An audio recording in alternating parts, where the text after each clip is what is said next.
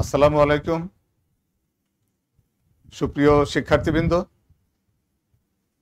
রাজশাহী কলেজের একাদশ শ্রেণির অনলাইন ক্লাসে সকলকে স্বাগত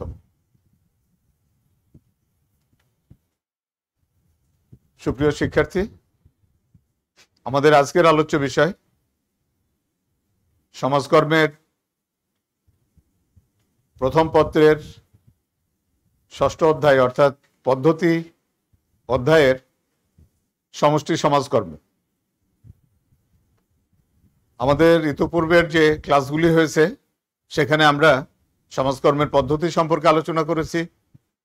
সেই আলোচনার ধারাবাহিকতায় আমরা দ্বিতীয় ক্লাসে আলোচনা করেছিলাম ব্যক্তি সমাজকর্ম পদ্ধতি। তৃতীয় ক্লাসে আমাদের আলোচ্য বিষয় ছিল দল সমাজকর্ম পদ্ধতি। আজকে এই অধ্যায়ের চতুর্থ ক্লাস আজকের আলোচ্য বিষয়, সমষ্টি সমাজকর্ম পদ্ধতি। সমষ্টি সমাজকর্ম পদ্ধতি সম্পর্কে বলতে গেলে আমরা বলতে পারি যে মানুষ স্বভাবজাতভাবেই সমাজবদ্ধভাবে বসবাস করে। সমাজবদ্ধভাবে বসবাস করার কারণ হলো মানুষের পারস্পরিক স্বার্থপূরণ। আর এই স্বার্থপূরণের ক্ষেত্রে মানুষ একে অপরের উপর বা একে অপরের সাথে বিভিন্ন মুখী সম্পর্কে আবদ্ধ। আর এই সম্পর্কের ভিত্তিতে পারস্পরিক সহযোগিতা, সমাজের মূল্যবোধ, আদর্শ, সামাজিক রীতিনীতি, সংস্কৃতি, এগুলো অনুশীলিত হয়। অর্থাৎ এই পারস্পরিক সহযোগিতা, মূল্যবোধ, আদর্শ, সামাজিক রীতিনীতি, সংস্কৃতি, এগুলো সমাজের মানুষকে অনুশীলন করতে হয় আর এভাবেই গড়ে ওঠে এক একটি জনসমষ্টি বা কমিউনিটি মূলত জনসমষ্টি বা সমষ্টি, এটার ইংরেজি শব্দ বলা ও প্রতিশব্দ বলা হচ্ছে কমিউনিটি এই কমিউনিটি বা সমষ্টি বলতে কি বোঝায়? কমিউনিটি বা সমষ্টি বলতে বোঝায় কোনো ভৌগোলিক এলাকায় বসবাস করা একদল জনসমষ্টি, যারা কিছু মৌলিক এবং অভিন্ন স্বার্থ রক্ষায় পরস্পর, পরস্পরের সাথে বিভিন্ন ধরনের ক্রিয়া প্রতিক্রিয়ায় লিপ্ত এবং তাদের মধ্যে একটা সামাজিক ও সাংস্কৃতিক ক্ষেত্রে একটা সমান বা সমজাতীয় একটা ধান ধারণা তারা পোষণ করে। মূলত বিষয়টা হলো কিন্তু সমষ্টি হলো সমাজের একটা অংশ বা ক্ষেত্র, যেখানে একই ধরনের বা একই রকমের মৌলিক অভিন্ন স্বার্থ এবং পারস্পরিক একটা ক্রিয়া প্রতিক্রিয়া পারস্পরিক ক্রিয়া প্রতিক্রিয়া বলতে পারস্পরিক সহযোগিতা, পরস্পর পরস্পরের সাথে প্রতিযোগিতা, এই যে বিভিন্ন বিষয়গুলো, এগুলোই হচ্ছে মূলত পারস্পরিক ক্রিয়া প্রতিক্রিয়া তাহলে সমষ্টি হচ্ছে একই জায়গায় বা একই ভৌগোলিক এলাকায় বসবাসরত একদল জনসমষ্টি, যারা কিছু অভিন্ন স্বার্থে একত্রিত হয় এবং পরস্পর পরস্পরের সাথে সেই অভিন্ন স্বার্থ রক্ষার ক্ষেত্রে কিছু ক্রিয়া প্রতিক্রিয়া থাকে তাদের মধ্যে এবং সামাজিক ও সাংস্কৃতিক ক্ষেত্রে তারা অভিন্ন ধ্যান ধারণা পোষণ করে। তাহলে যে সমষ্টির আমরা কথা বলছি, এই কথাগুলোর আলোকে কিন্তু সমষ্টির আমরা কিছু বৈশিষ্ট্য বা বিশেষত্ব খুঁজে পেতে পারি। কি বিশেষত্ব বা বৈশিষ্ট্য থাকবে? যেটা একটা সমষ্টিকে অন্য সমষ্টি থেকে আলাদা করবে, সেই বিশেষত্ব বা বৈশিষ্ট্যগুলো এটা সমষ্টির মানুষের একটা সহজাতবোধ বা সহজাত্যবোধ যেটাকে আরও সুন্দর করে আমরা বলতে পারি উই ফিলিংস। এই উই ফিলিংটা হলো যে পরস্পর সম্পর্কিত একই ধরনের মন মানসিকতা বা একই চেতনা, অভিন্ন স্বার্থ এই রকম মন মানসিকতার কিছু জনগণের বা কিছু মানুষের বা জনসমষ্টির একত্রিতীকরণ হলো জনসমষ্টি বা সমষ্টি। তাহলে এরই আলোকে আমরা সমষ্টির কিছু বৈশিষ্ট্য পাচ্ছি। সেই বৈশিষ্ট্যতে আমরা বলছি কি? প্রথমে আমরা বলছি গ্রুপ অফ পিপল বা একদল জনগোষ্ঠী। অর্থাৎ এটা কিন্তু সমাজের থেকে ছোট একটা একক।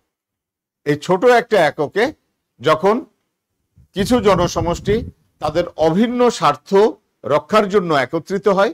এটি হচ্ছে একদল জনসমষ্টি। তারপরে কি থাকছে তাদের? একটা নির্দিষ্ট ভৌগোলিক এলাকা। নির্দিষ্ট ভৌগোলিক এলাকা আমরা যখন বলছি, তখন কিন্তু সমাজ থেকে এটা একটু ছোট হয়ে আসছে। এরপর থাকছে সমষ্টি চেতনা বা কমিউনিটি সেন্টিমেন্ট অর্থাৎ সম স্বার্থ বা অভিন্ন স্বার্থ সম্পন্ন মানুষ যখন একই চেতনা বা একই লক্ষ্য নিয়ে একত্রিত হচ্ছে, সেটা সমষ্টিতে রূপান্তরিত হচ্ছে। তারপর বলা হচ্ছে অভিন্নতা। এই অভিন্নতা হচ্ছে সমস্বার্থে বা সমচিন্তা ভাবনায় সাথে সাথে আরেকটা জিনিস থাকছে কি? যে ব্যক্তি বিশেষ বা দল বিশেষের স্বার্থের অভিন্নতা থাকলেও যখন সমষ্টিবদ্ধ হচ্ছে তখন কিন্তু তাদের মধ্যে একটা অভিন্নতা চলে আসছে। এরপর বলা হচ্ছে স্থায়িত্ব ও নির্দিষ্ট শিরোনাম। স্থায়িত্ব যে সমষ্টি একত্রিত হচ্ছে, যেমন আমরা গত ক্লাসে দলের ক্ষেত্রে আমরা বলেছিলাম যে কিছু মানুষ যখন একত্রিত হয়, আবার এই একত্রিত হওয়ার পর তারা যখন একটা নির্দিষ্ট লক্ষ্যে এগিয়ে যায়, সেটাকে আমরা দল বলেছিলাম। এখানে যেটা আমরা বলছি যে এর সাথে সাথে তার একটা কি থাকতে হবে? স্থায়িত্ব থাকতে হবে। স্থায়িত্বের ব্যাপারটা কেমন? যেমন একদল মানুষ বা কিছু মানুষ একই উদ্দেশ্য বা একই চেতনা নিয়ে তারা তারা একটা খেলার মাঠে উপস্থিত হলো এবং সেখানে তারা একটা বিশেষ পক্ষকে তারা সাপোর্ট করছে বা সমর্থন জানাচ্ছে। আবার দেখা গেল যে খেলাটি শেষ হওয়ার সাথে সাথে এইসব মানুষ যে যার মতো করে কিন্তু চলে গেল। তাহলে এই যে দর্শক সংখ্যা, ক দলের সমর্থক বা খ দলের সমর্থক, এরা কিন্তু ওই খেলা পর্যন্ত, তারপরে কিন্তু তাদের মধ্যে বিচ্ছিন্নতা এসে গেল। কিন্তু যখন সেটা সমষ্টি হবে, তাদের মধ্যে কিন্তু একটা স্থায়িত্ব থাকতে হবে বা স্থায়ীভাবে বসবাসরত বা স্থায়ী চেতনা বা স্বার্থ সংশ্লিষ্ট এই জিনিসটিকে বোঝাচ্ছে। এরপর বলা হচ্ছে নির্দিষ্ট নির্দিষ্ট একটা শিরোনাম থাকবে। সুপ্রিয় শিক্ষার্থী, তোমরা লক্ষ্য করতে পারো যে আমরা উদাহরণ হিসাবে বলেছিলাম যে এই ক্লাসটি যেমন একাদশ শ্রেণির মানবিক শাখার ক্লাস, এই যে মানবিক শাখা একাদশ শ্রেণির একাদশ শ্রেণির সারা বাংলাদেশ ব্যাপী যদি আমরা ধরি, একাদশ শ্রেণি বিভিন্ন কলেজ, বিভিন্ন প্রতিষ্ঠানে কিন্তু একাদশ শ্রেণি আছে। সেখানে আবার সাধারণভাবে একাধিক গ্রুপ আছে বা শাখা আছে। বিজ্ঞান শাখা আছে, ব্যবসায়ী শিক্ষা শাখা আছে, মানবিক শাখা। তাহলে এখানে কিন্তু একটা নির্দিষ্ট শিরোনাম হচ্ছে। আরও যদি আমরা এটাকে সূক্ষ্মভাবে দেখতে যাই, তাহলে সেখানে নির্দিষ্ট শিরোনাম কি হচ্ছে? আজকের এই ক্লাসের ক্ষেত্রে আমরা বলতে পারি, নির্দিষ্ট শিরোনাম হচ্ছে সমাজকর্ম বিষয়, যে সকল শিক্ষার্থীরা আছে, তারা। তাইলে আবার যদি এটাকে আমরা বড় করে দেখতে যাই জেলে কমিউনিটি বা জেলে সম্প্রদায় অথবা বলা যায় কি? যে কুমার সম্প্রদায়, যারা মাটি দিয়ে বিভিন্ন তৈজসপত্র বা আরও অন্যান্য জিনিস তৈরি করে। এই যে শিরোনাম, তাদের একটা নির্দিষ্ট শিরোনাম, যে তারা জেলে সম্প্রদায়ের লোক বা তারা কুমার সম্প্রদায়ের লোক অথবা তারা তাঁতি সম্প্রদায়ের লোক, এরকম একটি শিরোনাম আর তাদের মধ্যে থাকবে একটা স্থায়িত্ব। তারপর আর একটা বৈশিষ্ট্য কি বলা হচ্ছে? স্বাভাবিকতা। স্বাভাবিকতা হচ্ছে পারস্পরিক যে সম্পর্কের ভিত্তিতে যেটা গড়ে ওঠে, এটাই কিন্তু স্বাভাবিকতা। অর্থাৎ একটা সমষ্টির মানুষ যখন একত্রিত হয়, তাদের মধ্যে স্বাভাবিকভাবে বা প্রাকৃতিকভাবে কিছু কিন্তু কি হয়? ক্রিয়া প্রতিক্রিয়া সেই ক্রিয়া প্রতিক্রিয়া সেখানে যে পরস্পর পরস্পরের সাথে শুধুমাত্র সহযোগিতার বন্ধনে আবদ্ধ বা শুধুমাত্র সহযোগিতা থাকবে তা কিন্তু না। সেই সহযোগিতার সাথে সাথে তাদের কি থাকবে? তাদের মধ্যে প্রতিযোগিতা থাকবে, তাদের মধ্যে প্রতিদ্বন্দ্বিতা থাকবে, তাদের একে অপরের সাথে, একে অপরের থেকে এগিয়ে যাওয়ার প্রবণতা থাকবে, কিন্তু অবশ্যই সেটি যেন ধ্বংসাত্মক বা হিংসাত্মক না হয় বা সেটি যেন দ্বন্দ্বমূলক না হয়। এইরকম একটি সম্পর্কের বিষয়টি হচ্ছে স্বাভাবিকতা। আরেকটি বলা হচ্ছে স্বাতন্ত্রবোধ অর্থাৎ এক একটা কমিউনিটি বা এক একটা সমষ্টি এক এক ধরনের নেচার বা এক এক ধরনের লক্ষ্য উদ্দেশ্য বা একই ধরনের চেতনায় তারা আবদ্ধ। এটা তাদের স্বাতন্ত্রবোধ যদি আমরা স্টুডেন্ট কমিউনিটি বা স্টুডেন্ট সমষ্টি বলি, তাহলে আমাদের অন্য সমষ্টির সাথে, অর্থাৎ এই যে আমরা তাঁতেই সমষ্টি, কমিউনিটির কথা বলছি অথবা জেলে কমিউনিটির কথা বলছি, তাদের থেকে কিন্তু তাদের একটা আলাদা স্বাতন্ত্র বোধ থাকবে। আবার যদি আমরা রাজশাহী কলেজ ক্ষেত্রে এসে এভাবে উদাহরণ দিই যে মাস্টার্সের শিক্ষার্থী। মাস্টার্সের শিক্ষার্থী বিভিন্ন বিষয়ের শিক্ষার্থী কিন্তু সেখানে একত্রিত হচ্ছে। তাদের সাথে তোমাদের যে পার্থক্যটা থাকছে, যে তাদের সিলেবাস, তাদের পড়াশোনা, তাদের বিষয়াদি কিন্তু ভিন্ন, পাশাপাশি তোমাদের বিষয়াদি কিন্তু ভিন্ন। তাইলে প্রত্যেকটা কমিউনিটির তাদের নিজস্ব স্বাতন্ত্র বোধ থাকবে।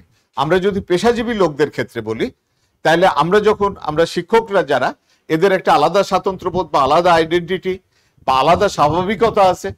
আমরা যদি চিকিৎসক কমিউনিটির কথা বলি, তাদের আলাদা স্বাভাবিকতা বা তাদের আলাদা স্বাতন্ত্র বোধ আছে। আমরা যদি আইনজীবী কমিউনিটির কথা বলি, সেখানে আলাদা স্বাতন্ত্র বোধ আছে। এই যে প্রত্যেকটা কমিউনিটির তাদের নিজস্ব একটা আলাদা স্বকীয়তা বা স্বাতন্ত্র বোধ থাকবে।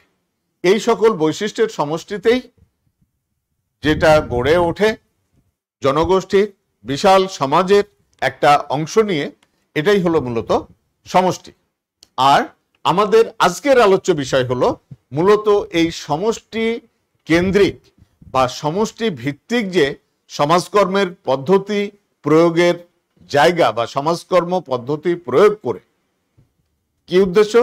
সমষ্টিকে তার নিজস্ব সম্পদ নিজস্ব ক্ষমতা, এগুলো দিয়ে তাদের সমস্যাকে মোকাবেলা করা বা সমস্যা থেকে উত্তরণ ঘটানো।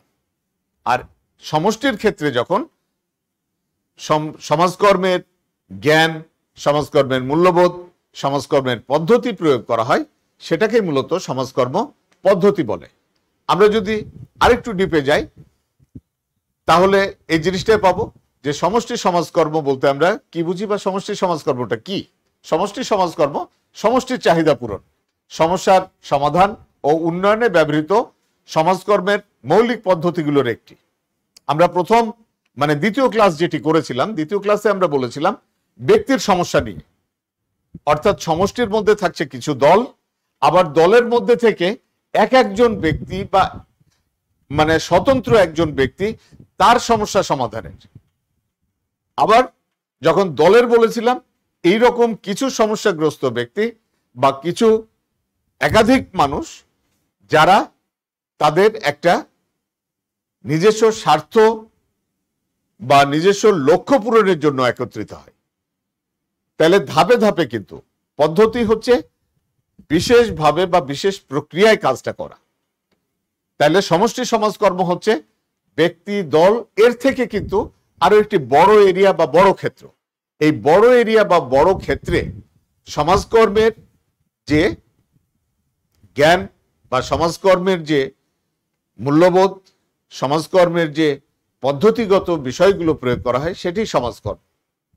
বলা হচ্ছে আমেরিকায় দান সংগঠন সমিতির মাধ্যমে বা চ্যারিটি অর্গানাইজেশন সোসাইটির মাধ্যমে পেশাদার সমাজকর্মী কর্মের এই তৃতীয় পদ্ধতিটির ধারণা শুরু। একইভাবে কিন্তু, যেমনভাবে আমরা বলেছিলাম, দল সমাজকর্মের ক্ষেত্রেও কিন্তু এই যে দান সংগঠন সমিতি বা চ্যারিটি অর্গানাইজেশন সোসাইটি বা নেবারহুড সোসাইটি বা YMCA W W I M C A এইরকম প্রতিষ্ঠানের যে রকম ভূমিকা ছিল, ঠিক একইভাবে দান সংগঠন সমিতির মাধ্যমেই কিন্তু সমাজকর্মের এই পদ্ধতিগুলো আধুনিক বা বৈজ্ঞানিক রূপ লাভ করে। সমষ্টি সমাজকর্মের সংজ্ঞায় আমরা এখানে মাত্র একজনের সংজ্ঞা ব্যবহার করেছি। যদি তোমরা বুঝতে পারো বিষয়টা, তাহলে কিন্তু একাধিক সংজ্ঞার প্রয়োজন পড়ে না।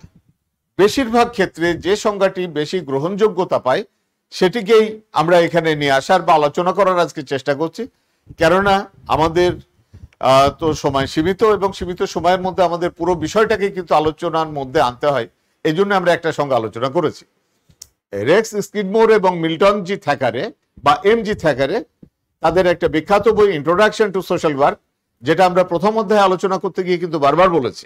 এ প্রসঙ্গে আরেকটু তোমাদেরকে জানিয়ে রাখি যে ইন্ট্রোডাকশন টু সোশ্যাল ওয়ার্কের লেখক হচ্ছে রেস স্কিডমোর এবং এম জি থ্যাকরে সাথে সাথে কিন্তু ইন্ট্রোডাকশন টু সোশ্যাল ওয়েলফেয়ার নামেও একটা বই আছে, যেটির লেখক হচ্ছেন ওয়াল্টার আর্থার ফ্রিডল্যান্ডার বা যিনি সমাজকর্মের ক্ষেত্রে ডাব্লিউ ফ্রিডল্যান্ডার নামে অধিক পরিচিত। তো যাই হোক, এটা তোমাদের অবশ্যই মনে আছে বা মনে থাকার কথা। স্কিডমোর এবং থ্যাকারি যে কথাটি বলেছেন, সেটি আমরা দেখি যে সমষ্টি সমাজকর্ম হলো একটি আন্তদলীয় প্রক্রিয়া, যা সমষ্টিকে সামাজিক সমস্যা বলি বুঝতে এবং সেগুলোর সমাধানে সমষ্টিতে প্রাপ্ত সম্পদ ব্যবহারের মাধ্যমে জনগণকে সহায়তা করে, যাতে সমগ্র সমষ্টিকে শক্তিশালী এবং সমষ্টির সদস্যদের জীবন মানের সমৃদ্ধিতে বা উন্নয়নে সহায়তা করে।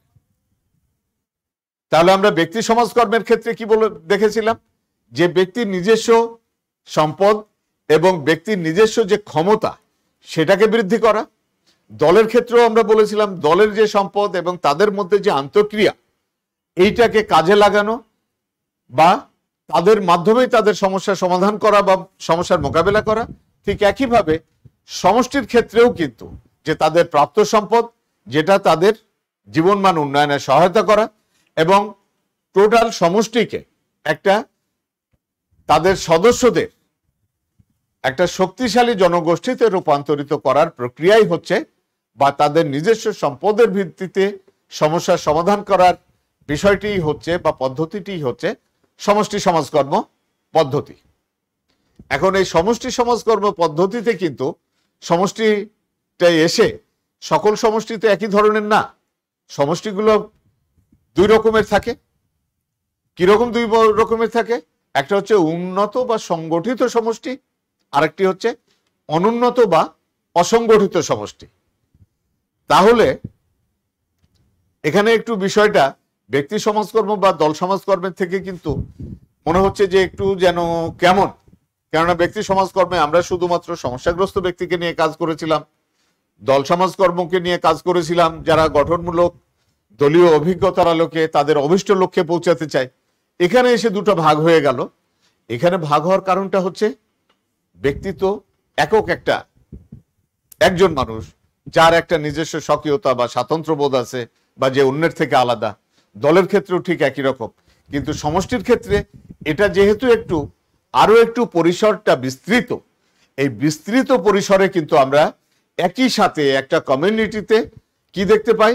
যে কিছু মানুষ থাকে বা একটা কমিউনিটিতে উন্নত এবং সংগঠিত জনসমষ্টি যেমন থাকে, আবার অনুন্নত এবং অসংগঠিত জনসমষ্টিও থাকে। এরই প্রেক্ষাপটে সমষ্টি সমাজকর্মকে মূলত দুইটি ভাগে ভাগ করা হয়। সেই দুইটি ভাগ হচ্ছে সমষ্টি, উন্নত সমষ্টির জন্য ব্যবহার করা হয় সমষ্টি সংগঠন বা কমিউনিটি অর্গানাইজেশন এই কমিউনিটি অর্গানাইজেশনটাই তোমরা একটু খেয়াল করে দেখো, আমরা পরেরটাতে যাচ্ছি। যে কমিউনিটি অর্গানাইজেশন বা সমষ্টির সংগঠন যেটাকে বলা হচ্ছে, অপেক্ষাকৃত উন্নত ও সংগঠিত সমষ্টির সমস্যা মোকাবেলায় এটি প্রয়োগ করা হয়।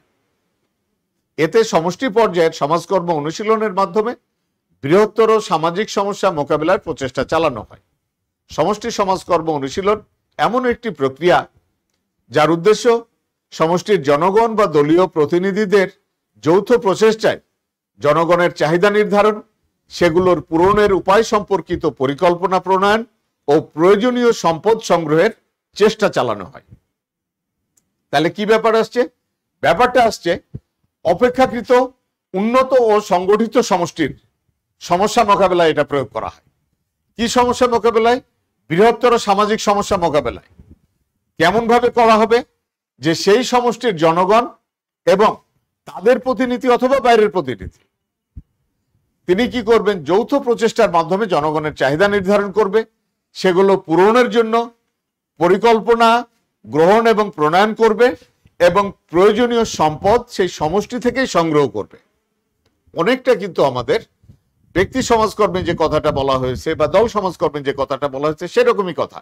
যে সমষ্টির নিজস্ব সমস্যা, সমষ্টির নিজস্ব চাহিদা মাফিক পরিকল্পনা করে এবং সেই পরিকল্পনা প্রণয়ন করে প্রয়োজনীয় সম্পদ সংগ্রহ করে সেটি মেটানোর চেষ্টা করা। একটি দিক। সাথে সাথে আর একটা আসছে কি? সমষ্টি উন্নয়ন বা কমিউনিটি ডেভেলপমেন্ট কমিউনিটি ডেভেলপমেন্টে কি? যেটা আমরা আগেই বললাম। আগে বলেছিলাম, তোমাদের একটু মনে আছে যে আমরা দুইটা কমিউনিটির কথা বলেছিলাম, সেই দুইটা কমিউনিটির মধ্যে আমাদের আরেকটা হচ্ছে অনুন্নত অসংগঠিত সমষ্টি। এই অনুন্নত এবং অসংগঠিত সমষ্টিতে কীভাবে কাজটা করা হচ্ছে, সেটা আমরা দেখি। অনুন্নত বা অসংগঠিত সমষ্টিতে কি করা হচ্ছে? অনুন্নত বা স্থবির জনসমষ্টি, যারা আর্থসামাজিক ও সাংস্কৃতিক উন্নয়নের জন্য সমষ্টি, সমাজকর্মের যে পদ্ধতিটি প্রয়োগ করা হচ্ছে, সেটাই হচ্ছে সমষ্টি উন্নয়ন পদ্ধতি। মূলত বিশ্বযুদ্ধ পরবর্তী সময় থেকে এই পদ্ধতিটা মোটামুটিভাবে পদ্ধতি হিসাবে স্বীকৃতি পায় বা এটার প্রচলন শুরু হয়। প্রাথমিকভাবে এই পদ্ধতি শুধুমাত্র অনুন্নত দেশগুলোতে বা উন্নয়নশীল দেশগুলোতে প্রয়োগ করা হতো। বর্তমানে এই পদ্ধতি প্রথম দিকে, অর্থাৎ আমরা দ্বিতীয় বিশ্বযুদ্ধের পরবর্তী সময় সুপ্রিয় শিক্ষার্থী, তোমরা যারা পৌরনীতি পড়ো বা তোমরা যারা ইতিহাস পড়ো, তোমরা জানো যে মোটামুটিভাবে দ্বিতীয় বিশ্বযুদ্ধের পর থেকে কিন্তু বিভিন্ন অঞ্চল বা এলাকাগুলোতে, দুঃখিত, বিভিন্ন অঞ্চল বা এলাকাগুলোতে যে কলোনিগুলো বা উপনিবেশগুলো ছিল, যেমন আমাদের এই উপমহাদেশে কিন্তু কি ছিল? ব্রিটিশ উপনিবেশ। এরকম বিশ্বের বিভিন্ন জায়গা কিন্তু, ইউরোপের বিভিন্ন দেশের উপনিবেশ ছিল। কোনোটা ছিল ব্রিটিশ উপনিবেশ, কোনোটা ছিল ফরাসিদের বা ফ্রেঞ্চ উপনিবেশ, কোনোটা ছিল স্প্যানিশদের উপনিবেশ, কোনোটা ছিল পর্তুগিজদের উপনিবেশ। এই যে বা কোনোটা ইটালিদের উপনিবেশও কিন্তু ছিল, যেমন লিবিয়া যে দেশটি, এটা কিন্তু ইটালির উপনিবেশ ছিল। দ্বিতীয় বিশ্বযুদ্ধের পর মোটামুটিভাবে মানুষের জাতীয়তা বোধের চেতনা বিকাশের সাথে সাথে কিন্তু এইসব উপনিবেশগুলো যেগুলো আগে অন্য বড় মানে সাম্রাজ্যবাদের অধীনে ছিল, এগুলো কিন্তু আস্তে আস্তে মুক্ত বা স্বাধীন হতে থাকে। এই রকম উন্নয়নশীল বা অনুন্নত দেশগুলোতে মূলত সমষ্টি উন্নয়নটা প্রয়োগ করা, একটা ক্ষেত্র হিসাবে প্রয়োগ করা যায় এরকম ধরা হয়েছিল। কেন ধরা হয়েছিল?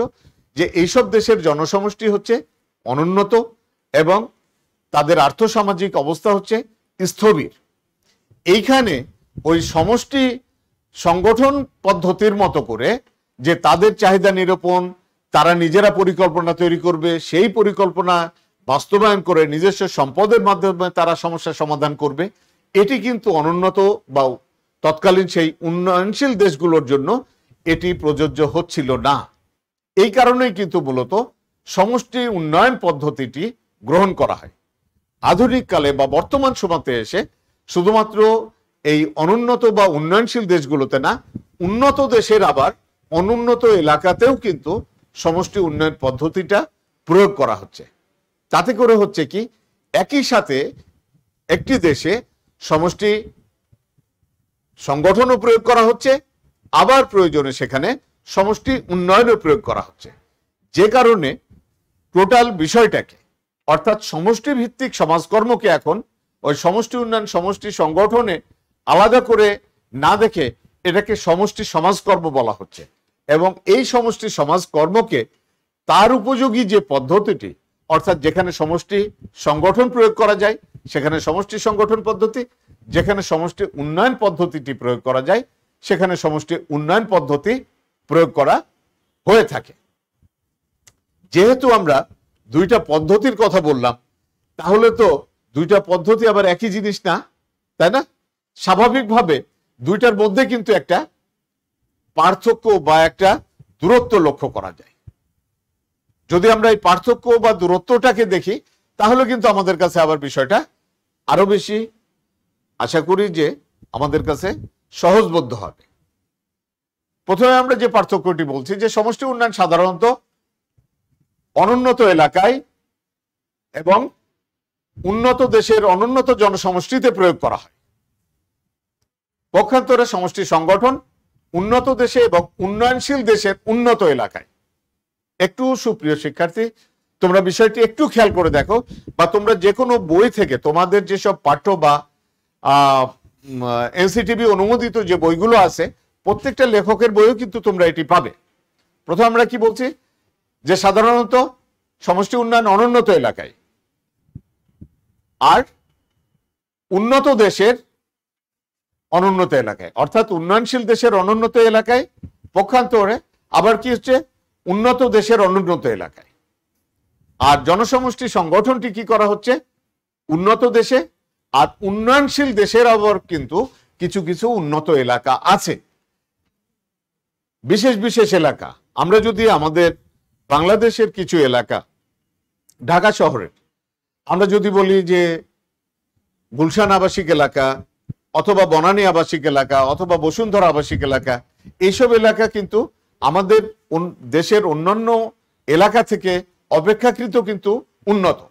এবং এই উন্নত এলাকায় যদি সমষ্টি সংগঠন প্রয়োগ করা যায়, তাহলে সেখানকার জনগণ কি করতে পারে? নিজেরা নিজেদের সমস্যা চিহ্নিত করতে পারে। আবার নিজেদের সম্পদ দিয়ে সে চিহ্নিত সমস্যা কীভাবে মোকাবেলা করা যাবে বা সমাধান করা যাবে, তার পরিকল্পনা প্রণয়ন এবং বাস্তবায়ন কীভাবে করা যাবে? এবং বাস্তবায়ন করতে গিয়ে কি পরিমাণ সম্পদ ব্যবহার করা লাগবে বা করা হবে? এবং সেই সম্পদ কীভাবে সংগ্রহ করা যাবে? এই সমস্ত কিন্তু তারা করতে পারে। এজন্যই আমরা বলছি যে উন্নত দেশের বা উন্নয়নশীল দেশের উন্নত এলাকায় আর অনুন্নত দেশ বা অনুন্নত এলাকাতে তো সমষ্টি উন্নয়নটা প্রয়োগ করা হয়। তাহলে একটা অন্যতম পার্থক্য। আরেকটি পার্থক্য বলা হচ্ছে সমষ্টি উন্নয়ন অসংগঠিত স্থবির অঞ্চলের দীর্ঘমেয়াদী সমস্যার সমাধান। অর্থাৎ সমস্যা যেহেতু অনুন্নত বা উন্নয়নশীল দেশের, তাদের সমস্যাগুলো প্রায় পরস্পর পরস্পরের সাথে সম্পর্কিত। অর্থাৎ সেখানে অর্থনৈতিক, সামাজিক, সাংস্কৃতিক এই সমস্ত সমস্যাগুলো পরস্পরের সাথে ঘনিষ্ঠভাবে সম্পর্কিত। যে কারণে সেই সমস্যাগুলো মোকাবেলা করার জন্য কিন্তু দীর্ঘমেয়াদী সমাধান প্রক্রিয়াতে যেতে হয়। পক্ষান্তরে সমষ্টি সংগঠন যেহেতু উন্নত এলাকা এবং গতিশীল অঞ্চল, এরা কিন্তু তাৎক্ষণিকভাবে সমস্যা সমাধানের প্রতি গুরুত্ব দেয়। তাহলে সমষ্টি উন্নয়নের ক্ষেত্রে দীর্ঘমেয়াদী সমাধান প্রক্রিয়া আর সমষ্টি সংগঠনের ক্ষেত্রে তাৎক্ষণিক সমস্যার সমাধান প্রক্রিয়া। আরেকটি হচ্ছে সমষ্টি উন্নয়নের যে পরিবর্তন আনাটি পরিবর্তন আনাটি হচ্ছে স্টার্টিং পয়েন্ট বা আরম্ভ বিন্দু যদি আমরা কোনো স্থবির সমাজে, তোমরা যদি একটু মনে মনে কল্পনাতে তোমরা, কল্পনার রাজ্যে তোমরা যাও, তাহলে একটু কল্পনা করো, যে সকল এলাকা অনুন্নত, সেখানে দেখবে কি? যে সেখানে কর্মসংস্থানের অভাব আছে, সেখানে মানুষের শিক্ষার অভাব আছে শিক্ষার অভাব থেকে মানুষের পুষ্টির অভাব আছে। এই যে নানাবিধ যে তাদের সমস্যা, এই নানাবিধ সমস্যা সমাধান করতে গিয়ে কিন্তু কোনো একটি বিশেষ জায়গা থেকে সেটা আরম্ভ করতে হবে। এজন্য কি বলা হচ্ছে যে এটা আরম্ভ বিন্দু বা স্টার্টিং পয়েন্ট অন্যদিকে সমষ্টি সংগঠনের এটা কি? এমনিতে উন্নত এলাকা, তাৎক্ষণিকভাবে কোনো সমস্যা দেখা দিয়েছে, সেই সমস্যাটা সমাধান করা। তাহলে এখানে কি হচ্ছে? যে এখানে সমস্যা এবং সমস্যা দেখা দেওয়া এবং সমস্যা সমাধান, এটাকে একটা ব্যালেন্স করা বা ভারসাম্য ভারসাম্যপূর্ণ করা। আর ভারসাম্যপূর্ণ করতে গিয়ে এটা কিন্তু কি হচ্ছে? মধ্যবিন্দু। দুঃখিত, এখানে আমরা যদিও লিখেছি মধ্যবিন্দু মধ্যবিন্দু না, মধ্যবিন্দু। অর্থাৎ মিড পয়েন্ট থেকে এটা শুরু। সমষ্টিটি উন্নত আছে, একটা সমস্যা দেখা দিয়েছে, সেখান থেকে এটা শুধু সমাধান করা। অর্থাৎ একবারে শুরু থেকে না, এটা মিড পয়েন্টে এসে সমাধান করা মিড পয়েন্ট থেকে শুরু। আর সমষ্টি উন্নয়নটি হচ্ছে আরম্ভ বিন্দু বা স্টার্টিং পয়েন্ট থেকে। শেষে আমরা যে পার্থক্যটার কথা বলছি, সে পার্থক্যটি বলা হচ্ছে যে সমষ্টি উন্নয়নের পরিধি হচ্ছে ব্যাপক এবং সুদূর প্রসারী। যেহেতু বললাম যে আরম্ভ বিন্দু অথবা বললাম যে দীর্ঘমেয়াদী সমস্যার সমাধান এই জন্য কিন্তু এটার পরিধি ব্যাপক এবং স্থায়িত্ব সুদূর প্রসারী। অন্যদিকে সমষ্টি সংগঠনের পরিধিটা হচ্ছে কি? মধ্যবিন্দু বা মিড পয়েন্ট থেকে এবং তাৎক্ষণিক সমস্যার সমাধান। যে কারণে কিন্তু এটার পরিধি অপেক্ষাকৃত, এই পরিধিটা ছোট এবং স্থায়িত্ব অপেক্ষাকৃত সীমিত। অর্থাৎ যে যে জিনিসটি সমষ্টি সমষ্টি উন্নয়নের মধ্যে আছে ঠিক তার রিভার্স বা তার অপোজিট গুলোই হচ্ছে সমষ্টি সংগঠনে সেটি প্রযোজ্য। এই জন্য মূলত এই পার্থক্যগুলো আরও বিশাল আলোচনা করা যায়। যেহেতু আমরা বলেছি যে তোমাদের পরীক্ষার লেখার সময়ও কিন্তু সীমিত বা আমাদের অনলাইন ক্লাসে কিন্তু এত বিস্তারিত বা ব্যাপকভাবে তো আলোচনা করা সম্ভব না, এই জন্য আমরা মোটামুটি এই পার্থক্যটা এর মধ্যে নিয়ে এসেছি। এই চারটি পার্থক্যের মধ্যেই আমরা সীমাবদ্ধ রেখেছি।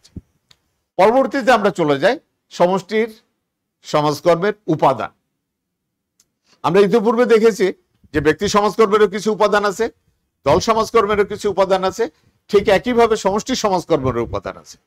আর তোমরা তো, আমি আশা করি যে এর মধ্যে শিখেই রেখেছো যে উপাদান কি।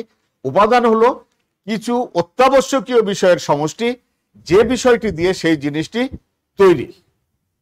যেমন এই মুহূর্তে আমার কাছে যে বিষয় জিনিসটি আছে, একটি মার্কার কলম। আশা করি দেখতে পাচ্ছ যে এই যে মার্কার কলমটি, এই মার্কার কলমটি কিছু উপাদানের সমন্বয়ে সৃষ্টি। কি উপাদান? যে এখানে একটি প্লাস্টিক কাভার আছে, এখানে লেখার উপযোগী বা লেখার মতো করে সেরকম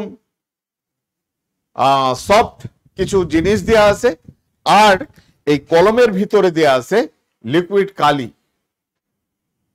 বা তরল কালি, যেটি এই মার্কার কলমের উপাদান। আবার কালির অন্যতম একটা বৈশিষ্ট্য হচ্ছে যে এটি বোর্ডে লেখার পরে মুছে দিলেই মুছে যায়। ঠিক একই ধরনের মার্কার আছে যেটা কিন্তু স্থায়ীভাবে কাজ করে। সেই স্থায়ী উপাদান কিন্তু এটার মধ্যে বা সেই ইন্টিগ্রেটের মধ্যে নেই। তাহলে যেসব জিনিসের বা অত্যাবশ্যকীয় জিনিসের দ্বারা একটি জিনিস গড়ে ওঠে, সেটাই হচ্ছে তার উপাদান। তো সমষ্টি সমাজকর্ম হতে গেলে তাকে সেখানে কি কি উপাদান বা কি কি জিনিসের প্রয়োজন? বলা হচ্ছে প্রথমেই, তোমরা একটু যদি ব্যক্তি সমাজকর্ম বা দল সমাজকর্মের উপাদানের সাথে মেলাও, অবশ্যই তোমাদের মনে থাকবে, ঠিক পাঁচটি উপাদান কিন্তু এখানে আছে, একই ধরনের। ব্যক্তি সমাজকর্মে ছিল ব্যক্তি, দল সমাজকর্মে ছিল দল, সমষ্টি সমাজকর্মে এসে হয়ে গেছে সেটি সমষ্টি বা কমিউনিটি ব্যক্তি সমাজকর্মে ছিল সমস্যা, দল সমাজকর্মে ছিল দলের চাহিদা বা প্রয়োজন, ঠিক একইভাবে সমষ্টি সমাজকর্মে সমষ্টির চাহিদা বা প্রয়োজন। ব্যক্তি সমাজকর্মে আমরা বলেছিলাম, স্থান বা প্লেসের কথা, এখানেও কিন্তু সেরকম সংস্থা বা প্রতিষ্ঠান। দল সমাজকর্মে কিন্তু এরকম, দল সমাজকর্ম প্রতিষ্ঠানের কথা তোমরা ইতিমধ্যে শিখে রেখেছ। তাহলে সেই একই ধরনের বিষয়টা লাগছে। এখানে আছে রিপ্রেজেন্টেটিভ আমরা ব্যক্তি সমাজকর্মের ক্ষেত্রে বলেছিলাম পেশাদার প্রতিনিধি, এখানেও কিন্তু একজন পেশাদার প্রতিনিধি বা প্রফেশনাল রিপ্রেজেন্টেটিভ থাকছে। আর সেই কাজটি কীভাবে করা যাবে বা কেমন ভাবে করা যাবে, এই জন্য আছে প্রসেস বা প্রক্রিয়া। তাহলে, সুপ্রিয় শিক্ষার্থী, তোমরা যদি মনে রাখতে পারো, ব্যক্তি সমাজকর্মের উপাদান, তাহলেই কিন্তু তোমার মনে হয়ে যাবে, দল সমাজকর্মে কি কি উপাদান আছে, তাহলেই তুমি অবশ্যই লিখতে পারবে, সমষ্টি সমাজকর্মে কি কি উপাদান আছে। সমষ্টি সমাজকর্মের জন্য সমষ্টি সমষ্টি সমাজকর্মের জন্য সমষ্টির চাহিদা প্রয়োজন প্রতিষ্ঠান বা সংস্থা, প্রতিনিধি প্রফেশনাল রিপ্রেজেন্টেটিভ প্রসেস ব্যক্তি সমাজকর্মে যেমন ছিল ব্যক্তি, দল সমাজকর্মে দল, আবার একটু রিপিট করছি যেন তোমাদের মনে থাকে। ছিল সমস্যা, এখানে এসে দলের চাহিদা বা এখানে এসে বলতে দল সমাজকর্মে দলের চাহিদা প্লেস বা প্রতিষ্ঠানের কথা আমরা বলেছিলাম। এরকম একটি প্রতিষ্ঠান বা সংস্থা, এজেন্সি বা ইনস্টিটিউট, পেশাদার প্রতিনিধি আর প্রক্রিয়া। এছাড়াও কিন্তু যেহেতু এটি বড় পরিসর, অর্থাৎ ব্যক্তির থেকে বা দলের থেকে তো সমষ্টি বড় পরিসর, তাই না? এতক্ষণ আমরা যে আলোচনা করলাম যে ব্যক্তি বা দল থেকে এটি বড় পরিসর। এই বড় পরিসরে আর কিছু জিনিস কিন্তু লাগে। সেই জিনিসটি হচ্ছে স্থানীয় সম্পদ। তার মানে যদি আমরা সমষ্টি উন্নয়ন ঘটাতে যাই, করতে যাই, সেখানে স্থানীয় সম্পদের কিন্তু প্রয়োজন আছে। আছে জন অংশগ্রহণ অর্থাৎ পিপুলস পার্টিসিপেশন। আমরা যেমন দল ব্যক্তি সমাজকর্মে বলেছিলাম, ব্যক্তির বৈশিষ্ট্যর ক্ষেত্রে যে সেই ব্যক্তি সমস্যাগ্রস্ত ব্যক্তি বা ব্যক্তি সমাজকর্মে তাকেই আমরা ব্যক্তি বা পার্সন হিসাবে ধরব, যে নিজের সমস্যার সমাধান করতে চায় বা সমস্যা থেকে মুক্ত হতে চায়। এখানে কি হচ্ছে? সমষ্টি যেহেতু অনেক ব্যক্তির সমষ্টি, অনেক ব্যক্তির সমন্বয় বা অনেক ব্যক্তি একত্রিত হওয়া বা অনেকগুলো দল একত্রিত হওয়া, এই জন্য কিন্তু তাদের অংশগ্রহণ। জন অংশগ্রহণ বা ইংরেজিতে আরেকটু তোমাদের কাছে বিষয়টা ক্লিয়ার হবে, সেটা হচ্ছে পিপুলস পার্টিসিপেশন অর্থাৎ প্রত্যেকটা সমষ্টির সদস্যদের অংশগ্রহণ। এরপর হচ্ছে আন্তঃসম্পর্ক ও সংযোগ। এটি সমষ্টি উন্নয়নেও আছে, সমষ্টি সংগঠনে আছে। আন্তঃসম্পর্ক এবং সংযোগটা কি? এই যে সমষ্টির সাথে, সমষ্টির চাহিদার সাথে, প্রতিষ্ঠান এবং প্রতিনিধির একটা কিন্তু আন্তঃসম্পর্ক বা একটা সংযোগ লাগবে। সেটি সমষ্টি উন্নয়নেও লাগবে, সমষ্টি সংগঠনেও লাগবে। এই আন্তঃসম্পর্ক এবং সংযোগ মানে পারস্পরিক একটা রিলেশনশিপ এবং যোগাযোগ এই দুটো যদি না থাকে তাহলে কিন্তু জন অংশগ্রহণ হবে না। তার সাথে সাথে আর একটা বড় জিনিসের দরকার বা বড় প্রয়োজন বা এটাকেও একটা অন্যতম উপাদান বলা যায় সমষ্টি সমাজকর্মের, সেটি হচ্ছে জাতীয় নীতি, অর্থাৎ রাষ্ট্রীয় অনুমোদন। উদাহরণ হিসাবে আমরা যখন দ্বিতীয় পত্র তোমাদের কাছে আলোচনা করব, তখন বাংলাদেশে প্রচলিত যে সমাজসেবা কার্যক্রমগুলি আছে, সেই কার্যক্রমগুলো আলোচনা করলে আরও বিস্তারিত হবে। এরপরেও আমরা বলে রাখি হয়তো তোমরা অনেকেই জানো, তোমরা যারা বিভিন্ন গ্রামীণ এলাকা থেকে বা পল্লী কি উপজেলা এলাকা থেকে এসছো, উপজেলায় যে সকল অফিসগুলি আছে, তার মধ্যে একটা অন্যতম অফিস হচ্ছে উপজেলা সমাজসেবা কার্যক্রম, যেটি উনিশশো চুয়াত্তর সালে বঙ্গবন্ধু সরকারের আমলে শুরু হয়েছিল। পল্লী উন্নয়ন ভিত্তিক একটা কর্মসূচি যে কর্মসূচির তৎকালীন নাম ছিল রুরাল সোশ্যাল সার্ভিস বা পল্লী সমাজ সেবা। এই রুরাল সোশ্যাল সার্ভিস বা পল্লী সমাজ সেবা করার আগে বা বাস্তবায়ন করার আগে কিন্তু জাতীয় পর্যায়ে বা রাষ্ট্রীয় পর্যায়ে অনুমোদিতভাবে পল্লী উন্নয়নের জন্য বা গ্রামীণ এলাকার উন্নয়নের জন্য কোনো কর্মসূচি ছিল না। এই জন্য প্রয়োজন পড়ছে কি জাতীয় নীতি বা রাষ্ট্রীয় নীতি। রাষ্ট্রীয় নীতি থাকলে, যদি এইরকম অনুমোদিত বিষয় থাকে, সেটি সমষ্টি উন্নয়নেও সেই উপাদানটি ব্যবহার করা যায়, সমষ্টি সংগঠনের ক্ষেত্রেও ব্যবহার করা যায়। মূলত এ হচ্ছে আমাদের সমষ্টি সমাজকর্মের উপাদান। তাহলে মূল উপাদান পাঁচটি, আর এই পাঁচটি উপাদানকে আরও বেশি কার্যকরী করার জন্য বিশেষ করে বা কেবলমাত্র সমষ্টি সমাজকর্মেই কিন্তু আরও চারটি বিষয় বা আরও চারটি উপাদান এর সাথে যুক্ত হচ্ছে বা ট্যাগ হচ্ছে। কেন ট্যাগ হচ্ছে বা যুক্ত হচ্ছে? যেহেতু সমষ্টি সমাজকর্ম আরও বড় পরিসর নিয়ে কাজ করছে সেই জন্য তাহলে এ পর্যন্ত ঠিক আছে? আমরা এরপরে আমাদের পূর্ববর্তী পদ্ধতিগুলো যেমন আমরা আলোচনা করেছিলাম, সেখানে কিছু নীতির কথা বলেছিলাম, ঠিক একই ধরনের নীতিমালা। যে নীতিমালা কিন্তু মূলত এসছে সমাজকর্মর অনুশীলনের নীতিমালা থেকে। আমরা, তোমরা একটু মনে করে দেখো, ব্যক্তি সমাজকর্মের ক্ষেত্রে বলেছিলাম, গ্রহণ নীতি। ঠিক একইভাবে, দল সমাজকর্মের ক্ষেত্রেও কিন্তু আমরা গ্রহণ নীতি বলেছিলাম। যে যেমন, যে স্থবির দল বা যে সমস্যাগ্রস্ত ব্যক্তিকে সমাজকর্মীকে ভালোভাবে গ্রহণ করতে হবে, সেটি গ্রহণ নীতি। সমষ্টির ক্ষেত্রেও তাই। আর নীতির ক্ষেত্রে একটা বিষয় আছে, নীতি কিন্তু কোনো এক পক্ষ। অর্থাৎ আমরা তো সমাজকর্মের মূল যে থিমটা বা লক্ষ্যটা, এটা তো বুঝতে পেরেছি। সেটা হলো কি যে যখন মানুষ নিজে নিজের সমস্যার সমাধান করতে বা নিজেই সমস্যা মোকাবেলা করতে সক্ষম হয় না, তখন তাকে সেই সক্ষম করার হচ্ছে সমাজকর্ম একটা প্রক্রিয়া। আর সেই প্রক্রিয়ায় কিন্তু দুটি পক্ষ থাকে। অর্থাৎ একজন সাপোর্ট বা সহযোগিতা দেবে আর একজন সহযোগিতা গ্রহণ করবে। এই যে সহযোগিতা দিবে এবং গ্রহণ করবে এই উভয়কেই কিন্তু সেই নীতিমালাগুলো মেনে চলতে হয়। যেমন ব্যক্তি সমাজকর্মের নীতিমালা, সমস্যাগ্রস্ত ব্যক্তি যেমন মেনে চলবে, আবার পেশাদার প্রতিনিধিও মানবে। দল সমাজকর্মের নীতিমালা, সেই দল যেমন মানবে, ঠিক একইভাবে দল সমাজকর্মীও মানবে।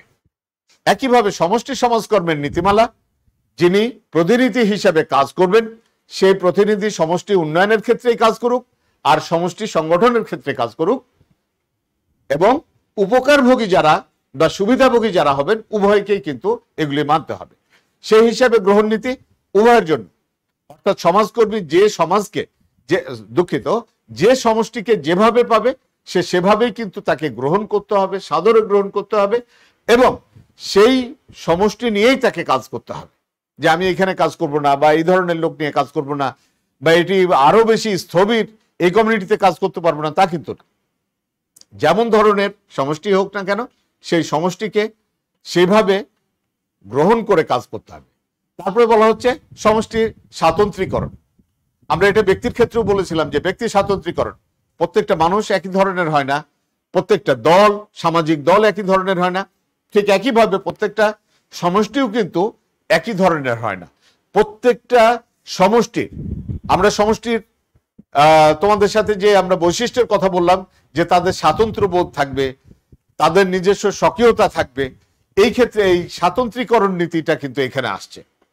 অর্থাৎ আমরা যে উদাহরণ হিসাবে বলেছিলাম যে তাঁতিদের একটি সমষ্টি বা তাঁতি কমিউনিটি অথবা জেলে কমিউনিটি অথবা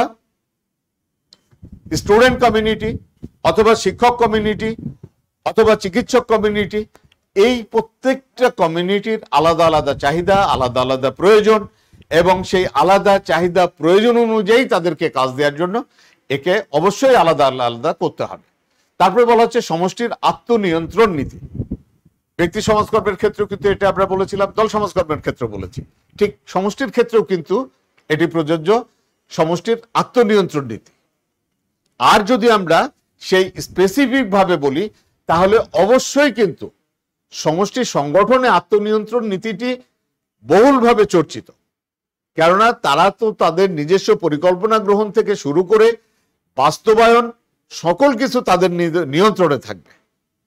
এই জন্য এখানে আত্মনিয়ন্ত্রণটি থাকছে। সাথে সাথে আমরা যদি বলি যে সমষ্টি উন্নয়নের ক্ষেত্রেও কিন্তু সমষ্টিকে তার লক্ষ্যে পৌঁছানোর জন্য সমষ্টিকে তাদের উপযোগী বা তাদের মতো করে সেই চিন্তা ভাবনা করতে দেয়া বা সেই রকম তাদের যে স্বকীয়তা, সেই আত্মনিয়ন্ত্রণের ভিত্তিতেই যেন তারা কাজ করতে পারে বা এই নীতিটিও সেখানে পুরোপুরি মেনে চলতে হয়। এরপরে বলা হচ্ছে অগ্রাধিকার ভিত্তিক প্রয়োজন নীতি। ব্যক্তির আলাদা নীতি, দলের আলাদা নীতি, আর সমষ্টির ক্ষেত্রে কিন্তু বড় পরিসরে। অর্থাৎ অনেকগুলি দলের সমষ্টি নিয়ে, অনেকগুলি দলের একত্রিতকরণই তো হচ্ছে সমষ্টি, তাই না? এখানে অগ্রাধিকার ভিত্তিক। এই অগ্রাধিকার ভিত্তিকের সাথে কিন্তু আরেকটা জিনিস চলে আসছে। অগ্রাধিকার ভিত্তিতে অধিকাংশ মানুষের। এখানে গণতান্ত্রিক একটা অগ্রাধিকার ভিত্তিক, প্রয়োজনের সাথে সাথে কিন্তু গণতান্ত্রিক চেতনা বা গণতান্ত্রিক মূল্যবোধের চর্চাটিও কিন্তু চলে আসে। এই জন্য এখানে অগ্রাধিকার ভিত্তিক প্রয়োজন, একজন দুইজনের প্রয়োজন না। কোন প্রয়োজনটি অধিক জরুরি? সেই প্রয়োজনটি মেটানোর জন্য চেষ্টা করা। এরপর বলা হচ্ছে পরিবর্তনশীল সাংগঠনিক কাঠামো নীতি। পরিবর্তনশীল সাংগঠনিক কাঠামো অর্থাৎ সমষ্টি উন্নয়ন বা সমষ্টি সংগঠন গেলে কিন্তু সে, করতে গেলে সেখানে কিন্তু একটি সাংগঠনিক কাঠামো লাগে। আর সাংগঠনিক কাঠামোটা পরিবর্তনশীল হবে এই কারণে যেহেতু সমাজ গতিশীল, আর গতিশীলতার কারণে আর সমষ্টি সমাজকর্মের লক্ষ্যের কারণে। লক্ষ্যটা কি? যে সমষ্টিকে তার যে অবস্থায় আছে তার থেকে উন্নততর অবস্থায় পৌঁছে দেওয়া যখন এই উন্নততর অবস্থায় যাবে, তখনই কিন্তু সেই সাংগঠনিক কাঠামোটাকে পরিবর্তন করতে হবে। তাহলে যখন আমরা যদি সমষ্টি উন্নয়নের ক্ষেত্রে বলি স্টার্টিং পয়েন্ট থেকে শুরু করা, তখন যে সাংগঠনিক কাঠামো থাকবে, এটা যখন মধ্যবিন্দুতে পৌঁছাবে, তখন তো একই সাংগঠনিক কাঠামো থাকলে হবে না। সেটির কাঠামোগত একটা পরিবর্তন আনতে হবে। আবার যদি সমষ্টি সংগঠনের ক্ষেত্রে ধরি, যখন লক্ষ্য পূরণ হয়ে যাচ্ছে, তখনও কিন্তু সাংগঠনিক কাঠামোর একটা পরিবর্তন নিয়ে আসতে হচ্ছে। পরবর্তী বলা হচ্ছে অংশগ্রহণ নীতি। আমরা যদি, আমরা জন অংশগ্রহণের কথা বলেছিলাম সমষ্টি উপাদানের ক্ষেত্রে, সেই সেই ধারাবাহিকতায় এই যে অংশগ্রহণ নীতি, অর্থাৎ এখানে কে অংশগ্রহণ করবে? সমষ্টির জনগণের অংশগ্রহণ। এই নীতিটি থাকতে হবে, এটি জনগণ যেমন অংশগ্রহণ করবে, ঠিক একইভাবে যিনি প্রতিনিধি থাকবেন, তারও কিন্তু সমান অংশগ্রহণ থাকবে। বিশেষ করে সমষ্টি সংগঠনের ক্ষেত্রে অনেক সময় দেখা যায়, যেহেতু উন্নত এলাকায় এবং তাদের নিজস্ব সম্পদ এবং নিজস্ব, কি বলা যায়, প্রচেষ্টায় সমস্যার সমাধান। অনেক সময় প্রতিনিধির কে এখানে কিন্তু অংশগ্রহণের সুযোগটা সীমিত করে হয়।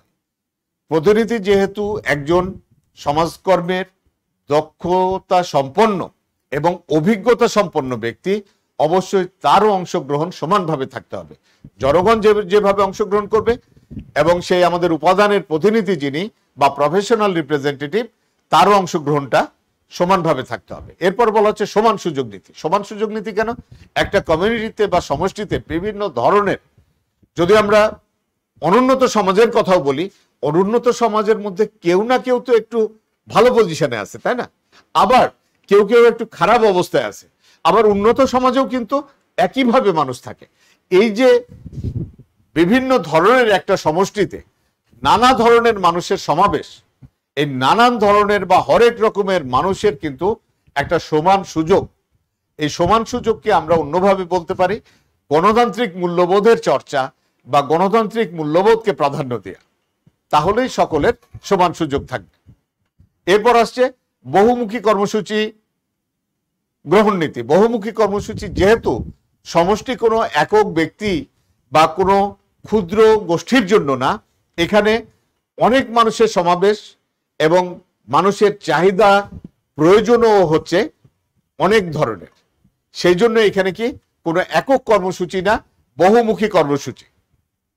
আমরা প্রয়োগ ক্ষেত্রতে গেলে কিন্তু এই বহুমুখী কর্মসূচিটা তোমাদের কাছে আরও বেশি স্বচ্ছ হয়ে আসবে, আশা করি। এরপর বলা হচ্ছে সমন্বয় সাধন নীতি। সমন্বয় সাধন, সমস্ত কাজগুলোর মধ্যে একটা কোয়ার্ডিনেশন করা। যাতে করে আমাদের সকলের অংশগ্রহণটা ঠিক থাকে, যাতে করে আমাদের সকলের সমান সুযোগটা ঠিক থাকে। সাথে সাথে আমরা সমন্বয় যদি সঠিকভাবে করা যায়, তাহলে কিন্তু এই বহুমুখী কর্মসূচি গ্রহণ যে নীতিটি আছে, এটিও কিন্তু খুব সুন্দর বা বাস্তব ভিত্তিকভাবে বাস্তবায়ন করা সম্ভব হবে।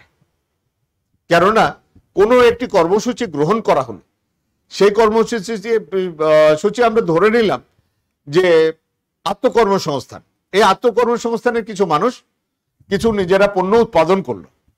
সেই পণ্যটাকে যদি আবার কিছু কর্মীর দ্বারা সেটাকে যদি বাজারজাতকরণ আমরা না করতে পারি বা বাজারজাতকরণের যদি সুযোগ না থাকে, সেই ক্ষেত্রে হবে কি? যে পণ্য শুধু উৎপাদন হবে, সেটা বিক্রি বা সেটা দিয়ে সেই কমিউনিটির সুযোগ সৃষ্টি হবে না। অথবা আমরা বললাম যে আমরা শুধুমাত্র কি করলাম? যে নিরক্ষরতা দূরীকরণ বা অজ্ঞতা দূরীকরণ করার কর্মসূচি হাতে নিলাম। নিরক্ষরতা দূরীকরণ করার সাথে সাথে নিরক্ষরতা দূরকরণ কাদের দেওয়া হয়? শিশু কিশোরদের মাধ্যমে এগোতে থাকে। কিন্তু সেটাকে যদি বয়স্কদেরকেও যদি এই নিরক্ষরতা দূরীকরণ কর্মসূচির মধ্যে সম্পৃক্ত না করা যায় বা সেখানে বয়স্ক শিক্ষার যদি ব্যবস্থা না করা যায়, তাহলে কিন্তু অজ্ঞতা দূর হবে না। এই জন্যই এইরকম সমন্বয় ধর্মী বা সমন্বয় সাধনের একটা নীতি থাকতে হবে। যাতে করে প্রত্যেকটা কর্মসূচি বাস্তবায়নের সাথে সাথে সেই কর্মসূচির সাথে আরও সম্পর্কিত যেগুলো, যে কর্মসূচিগুলো, সেগুলোর একটা, কি বলা যায়, একসাথে চলার একটা প্রক্রিয়া থাকে। এরপরে আছে সমাজকর্মীর পেশাগত দায়িত্ব সচেতনতার নীতি। অনেক সময় দেখা যায় যে যারা সমাজকর্মী হিসেবে কাজ করেন তিনি যেহেতু দক্ষ এবং অভিজ্ঞ ব্যক্তি, অনেক সময় কিন্তু তিনি সেই যে স্থবির জনসমষ্টি অথবা গতিশীল জনসমষ্টি, এদের উপরে তার একটা খবরদারি চলে আসে বা এদের উপরে একটা কর্তৃত্বের বিষয় চলে আসে। যদি কর্তৃত্বের বিষয়গুলো চলে আসে, তাহলে কিন্তু আমাদের এই নীতিটি ব্যাহত হবে। আমাদের অগ্রাধিকার ভিত্তিক প্রয়োজন নীতিটি ব্যাহত হবে। আমাদের অংশগ্রহণ নীতিটি ব্যাহত হবে। আমাদের সমান সুযোগের নীতিটিও ব্যাহত হবে। এই জন্য পেশাদার সমাজকর্মীকে তার পেশাগত দিকে তাকে লক্ষ্য রাখতে হবে। তিনি যেন তার মানে কর্তৃত্বটা পুরো সমষ্টির উপরে না চাপিয়ে দেন। আবার সমষ্টিকে সমষ্টির জনগণের অংশগ্রহণ বা সমান সুযোগ এগুলো করতে যে আবার তিনি যেন বিচ্ছিন্ন না হয়ে পড়ে সমষ্টি- থেকে। যে তার মতামত বা তার অভিজ্ঞতা এখানে কাজে লাগছে না। সমষ্টির জনগণ যা চিন্তা ভাবনা করছে, সেটাই তারা করার চেষ্টা করছে। অর্থাৎ এখানে কর্মী এবং উপকারভোগী, এদের দায়িত্ব সচেতনতার একটা বিষয় থাকবে। যাতে করে পরস্পর পরস্পরের প্রতি শ্রদ্ধাশীল থেকে সেই সমষ্টিকে তার লক্ষ্যে পৌঁছানোর ক্ষেত্রে সুযোগ করে দেয়। সর্বশেষ আমরা বলছি সম্পদ সদ্ব্যবহারের নীতি। এটি কিন্তু সমাজকর্মের অন্যতম একটি মৌলিক নীতি। এটি দলের ক্ষেত্রে আমরা বলি, অথবা ব্যক্তির ক্ষেত্রে বলি বা সমষ্টির ক্ষেত্রে বলি, যে কোনো ক্ষেত্রেই কিন্তু সম্পদের সদ্ব্যবহার নীতির বিকল্প কিচ্ছু নাই। এমনকি এই মুহূর্তে তোমরা যারা এই ক্লাসের সাথে আসো তুমি তোমার এমবি ব্যয় করে, খরচ করে বা তোমার সময় নষ্ট সময় ব্যয় করে তুমি এই ক্লাস করছ। যদি এটি যথার্থভাবে না বুঝতে পারো বা না বোঝো অথবা এই যে রাজশাহী কলেজ তোমাদের জন্য এরকম একটি লাইভ বা চলমান একটি ক্লাস রেখেছে। তোমরা যদি শুধুমাত্র কমেন্ট বক্সে আসসালাম আলাইকুম স্যার আর তোমার রোল নাম্বারটি লিখে রাখো, তাহলে কিন্তু সম্পদের সদ্ব্যবহার হচ্ছে না। তোমরা যদি তোমাদের প্রয়োজনটা, তোমাদের চাহিদাটা যথার্থভাবে না জানাতে পারো, তাহলে কিন্তু সম্পদের সদ্ব্যবহার এটি সম্ভব নয়। এই জন্য শুধু কমিউনিটি না সম্পদের সদ্ব্যবহার কিন্তু আমাদের সর্বক্ষেত্রে করা উচিত। আর এটি আমি বারবার আমার শিক্ষার্থীদেরকে বোঝানোর চেষ্টা করি, সম্পদ বলতে কিন্তু আমার বই, খাতা, কাগজ, কলম, বাড়ি, ঘর, জমি, জায়গা, এটি না। আমি যে সময়ের মধ্যে আছি, এটিও কিন্তু আমার সম্পদ। আর এই সময়টাকেও যদি আমি সঠিকভাবে কাজে লাগাতে পারি, তখনই কিন্তু একজন মানুষ তার কাঙ্ক্ষিত লক্ষ্যতে পৌঁছতে পারে।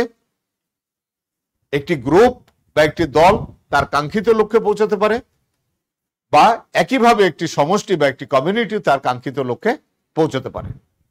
মূলত এগুলি হচ্ছে সমষ্টি সমাজকর্মের নীতিমালা। তাহলে এরপর আমরা ধারাবাহিকভাবে চলে আসি, সমষ্টি সমাজকর্মের প্রয়োগ ক্ষেত্রগুলি কি কি আছে?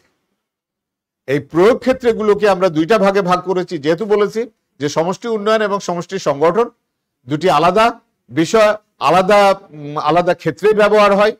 যদিও এটি মাইক্রোস্কোপিক ভাবে বা সূক্ষ্ম সূক্ষাতি ভাবে এটার আলাদা করা আমাদের মতো উন্নয়নশীল দেশের ক্ষেত্রে হয় না। তারপরেও কিন্তু আমরা সুবিধার জন্য, তোমাদের বোঝার সুবিধার জন্য বা শেখার সুবিধার জন্য আলাদা আলাদা ভাবে করে দেখানোর চেষ্টা করব। প্রথমে আসি নতুন বসতি এলাকা সুপ্রিয় শিক্ষার্থী, তোমরা জানো, গতকালকেই গণপ্রজাতন্ত্রী বাংলাদেশ সরকারের মাননীয় প্রধানমন্ত্রী, তিনি প্রায় তেপান্ন হাজার আটশো জনগোষ্ঠীর মধ্যে, যারা একেবারে ভূমিহীন ছিল, যাদের ঘর বাড়ি কিছু ছিল না, যারা ভাসমান বা ফ্লোটিং পিপুল ছিল, তাদের মধ্যে কিন্তু তিনি একেবারে তাদেরকে রেজিস্ট্রি করে তাদের নতুন বসতি এলাকা তৈরি করে দেওয়া হয়েছে। এটা কিন্তু বস্তি এলাকা না নতুন জনবসতি এলাকা। এখানে কিন্তু আমরা তিনটি স্লাইড ব্যবহার করেছি। আর এটি কিন্তু গতকালের যে মাননীয় প্রধানমন্ত্রীর যে উদ্বোধনী অনুষ্ঠান, সেই অনুষ্ঠানেরই কিন্তু একটি অংশকে আমরা এখানে নিয়ে এসেছি। এই যে দেখা যাচ্ছে, এখানে একটি বসতি এলাকা, এখানে একটি বসতি এলাকা, এখানে একটি বসতি এলাকা। এই নতুন বসতি এলাকাতে কিন্তু সমষ্টি উন্নয়ন পদ্ধতিটা প্রয়োগ হয় খুব চমৎকারভাবে। আমরা আশা করব যে বাংলাদেশ সরকারের সমাজ কল্যাণ মন্ত্রণালয়ের সমাজসেবা অধিদপ্তরের যে উপজেলা সমাজসেবা কার্যক্রম আছে, এই উপজেলা সমাজসেবা কার্যক্রমগুলি এইসব এলাকাতে প্রয়োগ হবে। তাতে করে হবে কি, এই যে বিভিন্ন জায়গার বিচ্ছিন্ন জনগোষ্ঠী, সারা বাংলাদেশের বিভিন্ন উপজেলা পর্যায়ে যে এরকম নতুন নতুন বসতি এলাকা হয়েছে, একসময় এইসব বসতি এলাকাগুলোতে সমষ্টি উন্নয়ন পদ্ধতি প্রয়োগের মাধ্যমে তাদেরকে আত্মনির্ভরশীল জনগোষ্ঠীতে রূপান্তরিত করা সম্ভব। মানুষের অন্যতম একটা মৌলিক চাহিদা হচ্ছে মানুষের আশ্রয়। আশ্রয়ের তো ব্যবস্থা হয়েছে। এই আশ্রয়ের ব্যবস্থার সাথে সাথে তাদের স্বাবলম্বিতা অর্জন বা তাদের আত্মনির্ভরশীলতা অর্জনের ক্ষেত্রে সমষ্টি উন্নয়ন পদ্ধতি প্রয়োগ করা যায় বা প্রয়োগ করা হয়ে থাকে। নেক্সট আমরা দেখছি কৃষি উন্নয়ন, যেটা আমরা দল সমাজকর্মের ক্ষেত্রেও কিন্তু এটা বলেছিলাম। এই সমষ্টি উন্নয়নের ক্ষেত্রে বা সমষ্টি উন্নয়নটাও কিন্তু দল, এই কৃষি উন্নয়নের ক্ষেত্রে প্রয়োগ করা যায়। ওই যে আমরা বলেছিলাম তোমাদের দল সমাজকর্ম প্রয়োগের ক্ষেত্রে যে খামার ভিত্তিক চাষাবাদ, অর্থাৎ খণ্ড বিখণ্ড জমিকে একত্রিতকরণ করে চাষাবাদ করা, এই ক্ষেত্রে কিন্তু সমষ্টি উন্নয়ন দারুণভাবে কাজ করতে পারে। কেননা খণ্ড বিখণ্ড জমিকে যদি একত্রিতকরণ করে সেখানে আধুনিক প্রযুক্তির আমরা কিন্তু কৃষি ব্যবহার করতে পারি। সেখানে আধুনিক প্রযুক্তির মাধ্যমে সেচ দেয়া, কীটনাশক দেয়া, তারপরে হচ্ছে কীটনাশ মানে সেখানে আরও যেসব আধুনিক প্রযুক্তি যেগুলো আছে, যেমন এখানে আমরা একটা ফসল হারভেস্ট দেখাচ্ছি, রেপার মেশিনের মাধ্যমে ধান কাটা বা মাড়াই করা, এই সকল কাজগুলো একটা সমষ্টি উন্নয়নের মাধ্যমে হয়ে থাকে বা এখানে প্রয়োগ করা কৃষি উন্নয়নের ক্ষেত্রে প্রয়োগ করা যায়। নেক্সট আমরা বলছি যে বিভিন্ন সমবায় সমিতির ক্ষেত্রে সমষ্টি উন্নয়ন পদ্ধতিটি অধিক কার্যকরী। কেননা একটা সমবায় সমিতি তো দু একটা দল নিয়ে না, একটা বিশাল বড় পরিসর নিয়ে হয়। যদিও সরকারের, স্থানীয় সরকার মন্ত্রণালয়ের, অর্থাৎ স্থানীয় সরকার ও সমবায় মন্ত্রণালয়ের কিন্তু সমবায় অধিদপ্তর নামে একটি অধিদপ্তর আছে। আর এই সমবায় অধিদপ্তর সারা দেশে বিভিন্ন কর্মসূচি তারা বাস্তবায়ন করে থাকে, একেবারে গ্রামীণ পর্যায় থেকে একবারে পর্যায় পর্যন্ত। বিশেষ করে যে সকল অনুন্নত এলাকায়, অনুন্নত এলাকার জনগণকে সংগঠিতকরণ এবং তাদের স্বাবলম্বিত অর্জনের ক্ষেত্রে সমবায় একটা বড় ভূমিকা পালন করে। আর এই সমবায় সমিতির ক্ষেত্রে কিন্তু সমষ্টি উন্নয়নটা এটি ব্যবহার করা যায়। নেক্সট আমরা বলছি অজ্ঞতা নিরক্ষরতা দূরীকরণের ক্ষেত্রে। অজ্ঞতা নিরক্ষরতা দূরীকরণ যেমন যে অঞ্চলে যা বা যে এলাকাতে স্কুল নেই বা ছেলে মেয়েদের লেখাপড়া শেখার জন্য সেরকম প্রতিষ্ঠান নেই, সমষ্টির জনগণ, তাদের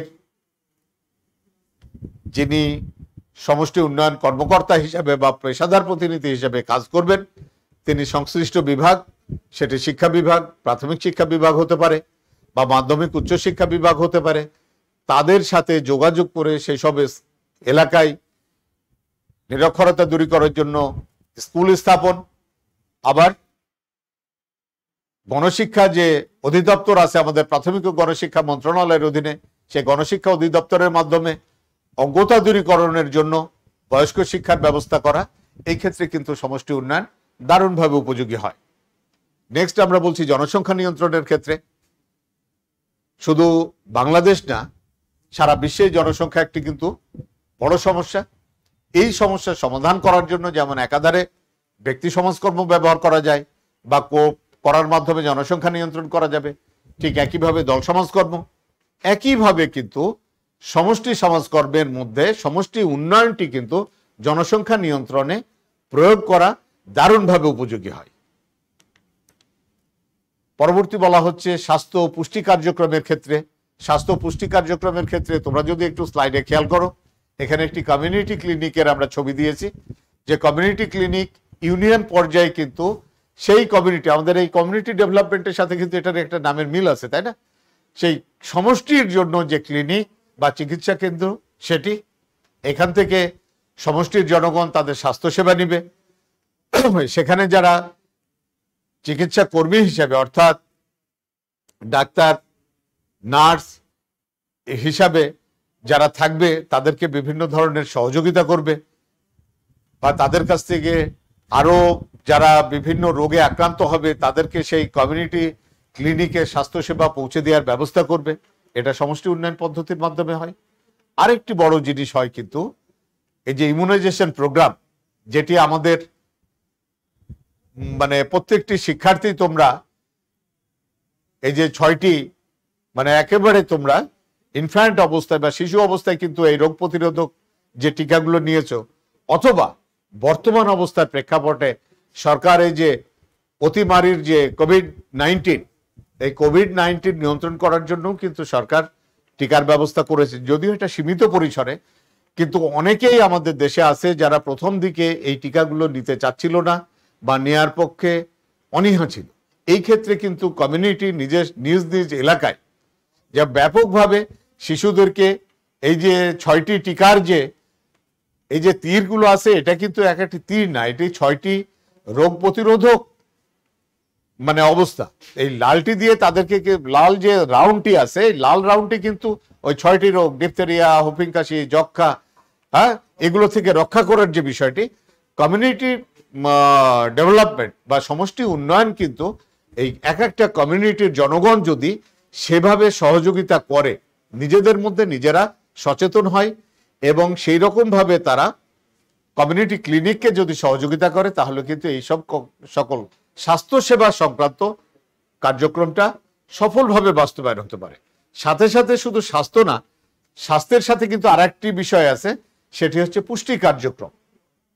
নিরাপদ খাদ্য, তারপরে পুষ্টি সম্পর্কে জনসচেতনতা পুষ্টিকর খাবার কীভাবে রোগ প্রতিরোধ করতে পারে শুধু তো মাত্র প্রতিকারের মাধ্যমে তো রোগ প্রতিরোধ করা সম্ভব না বা সুস্বাস্থ্যের অধিকারী সম্ভব না, রোগ প্রতিরোধ করার ক্ষেত্রে, যেমন এখানে ভূমিকা রাখছে, খাদ্য যে খাবারগুলো আমরা খাই, সঠিকভাবে সেই খাদ্যের মান নিয়ন্ত্রণ রেখে সেগুলিকে খাওয়ার উপযুক্ত করা বা খাওয়ার উপযোগী করা, স্বাস্থ্যকর পরিবেশ রক্ষা করা, এই সকল কার্যক্রমে কিন্তু সমষ্টি উন্নয়ন, এটা আমরা ব্যবহার করতে পারে। এরপর বিনোদনের ক্ষেত্র আছে।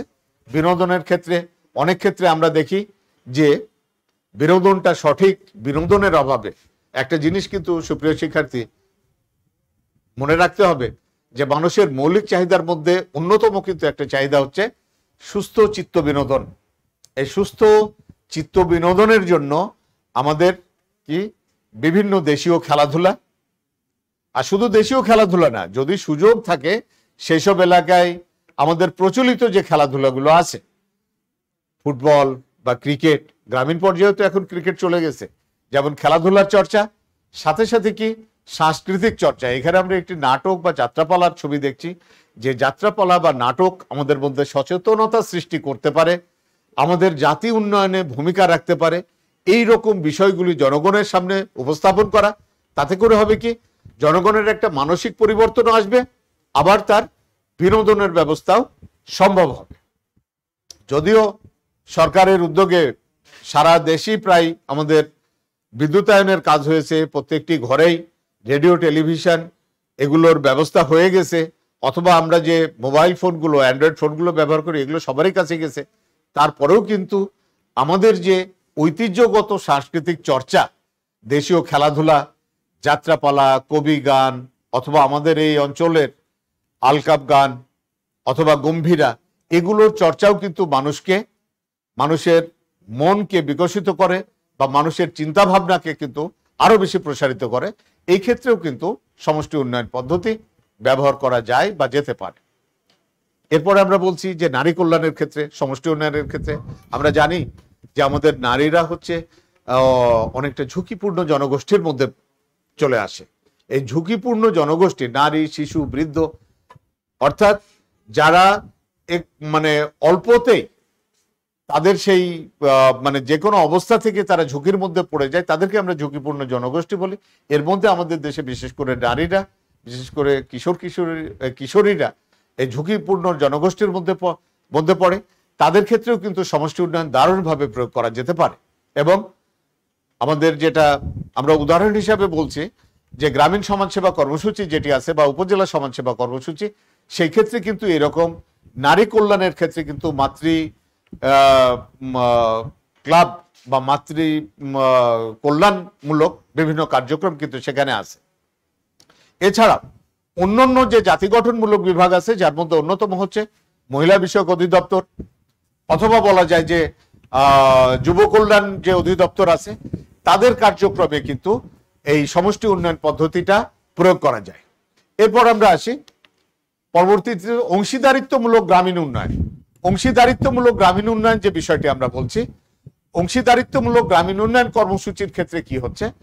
এই যে আমরা বিভিন্ন কাজ দেখছি, গ্রামীণ, সড়ক উন্নয়ন, অথবা সামাজিক বনায়ন, অথবা এই যে মহিলাদের কাজের বিনিময়ে খাদ্য কর্মসূচি, এইসব ক্ষেত্রে কিন্তু দারুণভাবে সমষ্টি উন্নয়ন পদ্ধতিটি ব্যবহার করা যায়। এছাড়াও আত্মকর্মসংস্থান বা আত্মসাহায্য কর্মসূচি গবাদি পশু আছে, ছাগল পালন আছে, হাঁস মুরগি পালন আছে, এই সমস্ত ক্ষেত্রেও কিন্তু আমরা সমষ্টি উন্নয়ন কর্মসূচিটা ব্যবহার করা যায়। সর্বোপরি আমরা বলছি মানব সম্পদ উন্নয়নের ক্ষেত্রে। আমরা জানি একটা জাতির সব থেকে গুরুত্বপূর্ণ সম্পদ হচ্ছে মানব সম্পদ।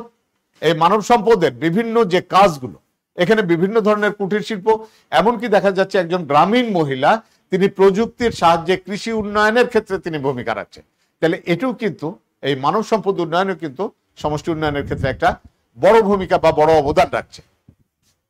এরপরে সমষ্টি সংগঠন, যদিও জানি অনেক বড় হচ্ছে, কিন্তু আমি খুব দুঃখের সাথে বলছি সুপ্রিয় শিক্ষার্থী, যে আমাদের এই পদ্ধতি চ্যাপ্টারটি কিন্তু একটি বড় ধরনের চ্যাপ্টার বিশাল চ্যাপ্টার এই বিশাল চ্যাপ্টারের আলোচনা সীমিত সময়ের মধ্যে করা সম্ভব হচ্ছে না, বিদায়, আমরা একটু বেশি সময় নিচ্ছি। আশা করি তোমরা থাকবে আমাদের সাথে। সমষ্টি সংগঠন, যেটা আমরা বলেছিলাম, সাধারণত উন্নত এলাকায় বা শহরের এই একটি উন্নয়নশীল দেশের উন্নত এলাকায় বা উন্নত দেশে, এর মধ্যে উন্নত যে আবাসিক এলাকা, একটি বহুতল ভবনের একটি, কি বলা যায়, আবাসিক এলাকা, অথবা এখানে একটি ফ্ল্যাট বাড়ি, এইসব এলাকায় বিভিন্ন জায়গার বিভিন্ন অঞ্চলের মানুষ যখন একত্রিত হয়, তাদের মধ্যে একটা পারস্পরিক সম্পর্ক বা পারস্পরিক একটা হৃদ্যতাপূর্ণ মানে সম্পর্ক তৈরির ক্ষেত্রে সমষ্টি সংগঠন পদ্ধতিটি ব্যবহার করা যায়। এরপরে যদি আমরা আসি, শহর এলাকার বর্জ্য ব্যবস্থাপনা, এটি শহর এলাকার একটি কিন্তু অত্যন্ত কি বলা যায় নেতিবাচক দিক যে শহরে আমরা বসবাস করি, যত্রতত্র ময়লা আবর্জনা এগুলো ফেলে নষ্ট করি বা করে থাকি বিভিন্ন আবাসিক এলাকা বা পার্শ্ববর্তী এলাকাগুলোতে দেখা যায়। এই শহর এলাকার বর্জ্য ব্যবস্থাপনার ক্ষেত্রে একটি সমষ্টির জনগণ তাদের ভূমিকাটা, সঠিক ভূমিকাটি তারা পালন করতে পারে বা পালন করা হয়ে থাকে। এরপর বলা হচ্ছে বিনোদনের ক্ষেত্রে শহরের বিভিন্ন এলাকায়, বিভিন্ন অঞ্চলে শিশু কিশোরদের জন্য বিনোদনের কোনো ব্যবস্থা থাকে না। এই বিনোদনের ব্যবস্থা করার জন্য সেখানে শিশু পার্ক বা সেখানে লেক বা সেরকম ওয়াকিং এরিয়া বা হাঁটার রাস্তা তৈরি করে দেওয়া এই ক্ষেত্রে কিন্তু সমষ্টি সংগঠন পদ্ধতি ব্যবহার করা যায়। ব্যবহার করা যায় শিশু কিশোর উন্নয়নের ক্ষেত্রে। আমরা এখানে কিছু শিশু কিশোর সংগঠন ব্যবহার করেছি। যেমন কচিকাচার মেলা। আমরা পাশের ছবিটি কিন্তু কচিকাচার মেলার একজন ফাউন্ডার একজন ফাউন্ডার নান তিনিই হচ্ছেন প্রতিষ্ঠাতা, রকনুজ্জামান খান, যিনি দাদাভাই নামে পরিচিত। তোমরা অনেকেই ছোটবেলায় যে ছড়াটি পড়েছো, বাঘ বাকুম, পায়রা, মাথায় দিয়ে টায়রা, এই ছড়াটির রচয়িতা বা সৃষ্টিকার কিন্তু এই দাদাভাই। উনি একসময় উনার একটি শিশু কিশোর সংগঠন, সারা দেশব্যাপী ছিল, কচিকাচার মেলা। এরকমই আরেকটি সংগঠন, খেলাঘরের আসর, বা আরেকটি আমরা জাতীয় শিশু কিশোর সংগঠন জোনাকির আসর এরকম শিশু কিশোরদের উন্নয়নের জন্য সমষ্টি ভিত্তিক অর্থাৎ শহরের যে বা সমষ্টির যে উন্নত এলাকাগুলো, এরকম শিশু কিশোরদের জন্য বিভিন্ন সংগঠনের মাধ্যমে শিশু কিশোরদের মানসিক বিকাশ ঘটালে কি হবে? এই যে আমরা ইদানিংকালে বিভিন্ন পত্রপত্রিকায় পড়ছি যে কিশোর গ্যাং কিশোর গ্যাং, যারা উঠতি বয়সী ছেলেমেয়েরা বিভিন্ন ধরনের অপরাধমূলক কার্যক্রমের সাথে জড়িত হয়ে যাচ্ছে। এই রকম জাতি গঠনমূলক বা কিশোর শিশু কিশোরদের উন্নয়নমূলক বা তাদেরকে বিভিন্ন বহুমুখী মানে কার্যক্রম গ্রহণের মাধ্যমে তাদেরকে আদর্শ নাগরিক গড়ে তোলার ক্ষেত্রে এরকম সংগঠনগুলি শহর অঞ্চলে বা সমষ্টি সংগঠন যে এরিয়াগুলো, সেগুলোতে এগুলো একটা বিশাল বড় ভূমিকা রাখতে পারে যুব উন্নয়নের ক্ষেত্রে।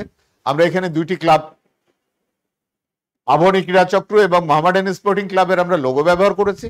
এর সাথে সাথে আমরা কমিউনিটির জন্য খুব ছোট পরিসরে, শহর এলাকায় যেহেতু বড় বড় মাঠ থাকে না বাস্কেটবল বা কোনো আবাসিক এলাকার ফাঁকা জায়গা বা তাদের জন্য কোনো কমিউনিটি সেন্টারের মতো ব্যবস্থা থাকলে সেখানে টেবিল টেনিস অথবা সুইমিং পুলের ব্যবস্থা থাকলে সেখানে সাঁতার এরকম শরীর চর্চামূলক বা যুবকদেরকে এরকম উন্নয়নমূলক কাজের সাথে সম্পৃক্ত করা সম্ভব। নারী কল্যাণের ক্ষেত্রে নারী কল্যাণের ক্ষেত্রে এই যে সমষ্টিতে বিভিন্ন ধরনের নারীরা থাকে, তাদেরকে দিয়ে তাদের আত্মকর্মসংস্থানের জন্য, এখানে দেখা যাচ্ছে যে একজন আত্মকর্মসংস্থানে অনলাইনে যে এখন মানে বিক্রিগুলো চলছে বা অনলাইন সবগুলো এরকম একটি আমরা সেই ক্ষেত্রে প্রয়োগ করতে পারি। তথ্য প্রযুক্তির মাধ্যমে আউটসোর্সিং এর ইনকাম বা তাদেরকে সেই সব প্রশিক্ষণ দেওয়ার মাধ্যমে হতে পারে। নতুন একটি ধারণা কনসেপ্ট যেটি হচ্ছে ব্লক বাটিক, এগুলোর মাধ্যমে মানুষের উন্নয়ন ঘটানোর একটি ব্যবস্থা করা যেতে পারে। এরকম একটি ব্যবস্থা। অর্থাৎ নারী কল্যাণের ক্ষেত্রেও কিন্তু সমষ্টি উন্নয়নের সমষ্টি সংগঠনের ব্যবহার করা যায়। আমরা যেমন সমষ্টি উন্নয়নে দেখেছি নারী কল্যাণের ব্যবহার, ঠিক সমষ্টি সংগঠনের ক্ষেত্রটি কিন্তু আলাদা। গ্রামীণ নারীদেরকে যেমন বনায়ন, গ্রামীণ নারীদেরকে যেমন কৃষি উন্নয়নের ক্ষেত্রে অবদান রাখতে পারে শহরের নারীরা তো বা শহরের মহিলারা তো সেভাবে বনায়ন বা এরকম অবদান রাখতে পারে না। তারা আত্মকর্মসংস্থানের ব্যবস্থায় অনলাইনের ভিত্তিক বা আউটসোর্সিং মাধ্যমে বা অনলাইন ভিত্তিক কোনো কাজ পরিচালনা করে অথবা যে ব্লগ, বাটিক এরকম কাজ করে এই ভূমিকাগুলো রাখতে পারে। এরপর আছে আরেকটি বর্তমান সময়ের খুব জনপ্রিয় একটি ব্যবস্থা, সেটি হচ্ছে ছাদ কৃষি। এই ক্ষেত্রেও কিন্তু সমষ্টি সংগঠনের ব্যবহার করা যায়। একদিকে যেমন আমাদের সবুজায়ন হবে ঠিক একইভাবে কি হবে? আমাদের শহর অঞ্চলের সীমিত জায়গাগুলোতে বা সীমিত ক্ষেত্রগুলোতে ফাঁকা জায়গা বলতে তো একমাত্র ছাদ। সেখানে যে বিভিন্ন টবের মাধ্যমে আমরা কীটনাশক মুক্ত বা ভালো আমরা ফসল পেতে পারি। সাথে সাথে মানুষের কিন্তু যারা এই সকল ছাদ কৃষি করে থাকে, তোমরা টেলিভিশনের মাধ্যমে দেখতে পারো যারা ছাদ কৃষি করে, তাদের কিন্তু বিনোদন বা একটু বয়স্ক যারা, তাদের সময়টাও কিন্তু সঠিকভাবে কাটানো যায়। মূলত এগুলোই আও আরও একটি এলাকা ব্যাপার আছে, শহরের বস্তি এলাকার উন্নয়নের ক্ষেত্রে সমষ্টি সংগঠন ব্যবহার করা যায়। আমরা দেখছি যে হাই রাইজিং বিল্ডিংগুলো আছে, তার সাথে সাথে এখানে একটি পোড়া বস্তির ব্যবহার করা হয়েছে বা এখানে রেললাইনের পাশে যে বস্তিগুলো, এই বস্তি উন্নয়নের ক্ষেত্রেও কিন্তু সমষ্টি সংগঠন ব্যবহার করা যায়। কারণ আমরা বলেছিলাম, তোমাদের মনে আছে যে উন্নত এলাকার উন্নত বা উন্নত রাষ্ট্রের অনুন্নত এলাকায়। শহরগুলো তো উন্নত এলাকা। আমরা যদি বড় বড় আমাদের